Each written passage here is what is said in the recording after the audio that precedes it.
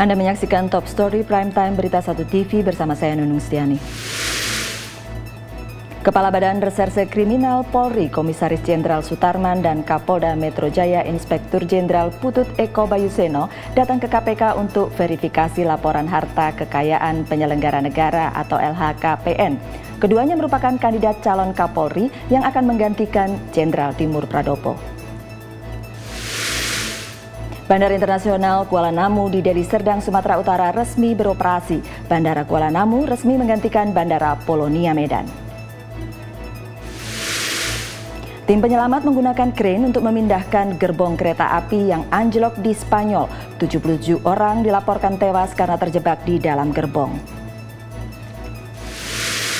Dialog Prime Time kali ini mengangkat tema mencari calon Kapolri bersih. Berita Satu dapat disaksikan melalui live streaming di Berita Satu TV, di First Media Channel 6 dan HD Channel 301, Telkom Vision Channel 150, Skynindo Channel 47, Aura TV Channel 071, berita1.com serta youtube.com slash berita 1. Dan kepada semua pemirsa kami di Banjarmasin, Kalimantan Selatan, kami sambut hangat telah bergabung dengan Berita Satu di Duta TV Channel 44.